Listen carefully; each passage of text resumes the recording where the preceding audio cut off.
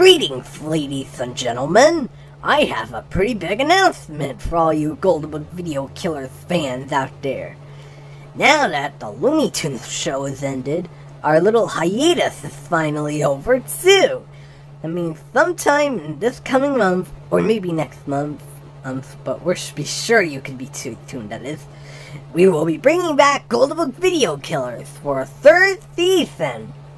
We're gonna have a lot of different jokes and surprises planned, and of course the cameos from Warner from Warner Brothers stars.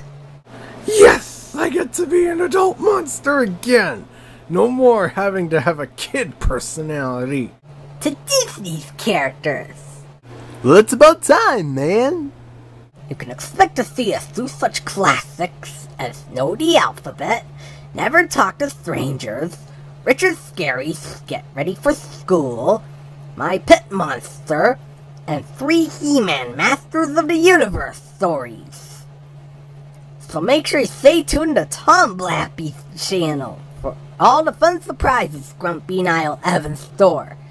And they won't involve me being stupid like in the Looney Tunes show. Oh, and an FYE, we're still not gonna have Lola appear even if we're not gonna have to dumb down Lola anymore uh, that talks a lot what am I saying? I'm not even a Cloud Cuckoo in real life.